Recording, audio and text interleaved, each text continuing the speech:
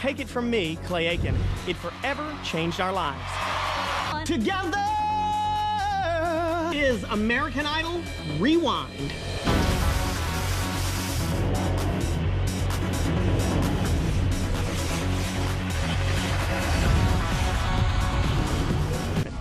And shocker, Simon woke up on the wrong side of the bed. Okay. And hear from yours truly. I'm like, crap! My whole scheme, my whole plan, it's completely gone.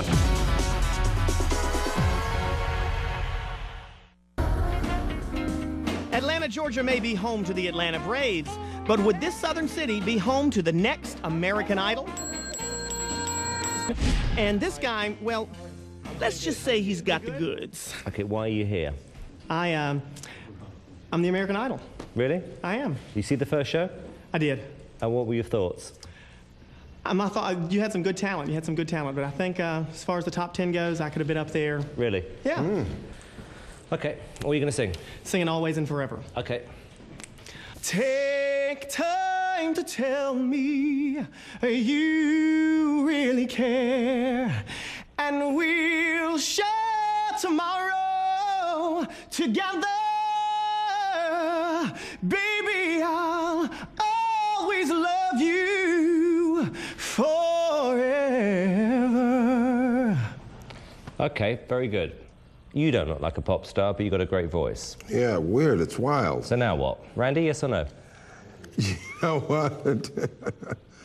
I say yes. I think you can work on your style. You got a really good voice, though. It's just really wild for me to hear that voice coming out of this Little look. white boy, right? He can sing. Clayton, we'll see you in Hollywood. Congratulations. Welcome to Hollywood, Clayton. Thank you very much. Well done.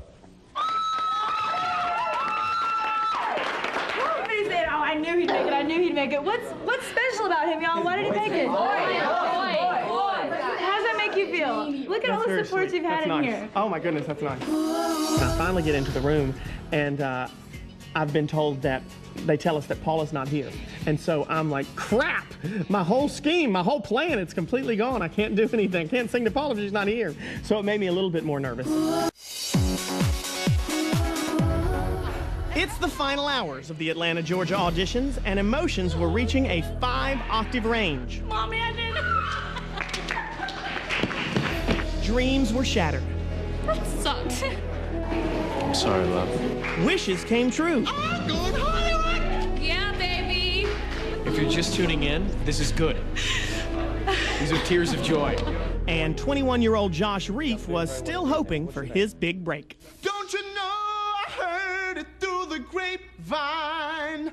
Not much longer would you be mine. Yeah, I heard it through the grapevine.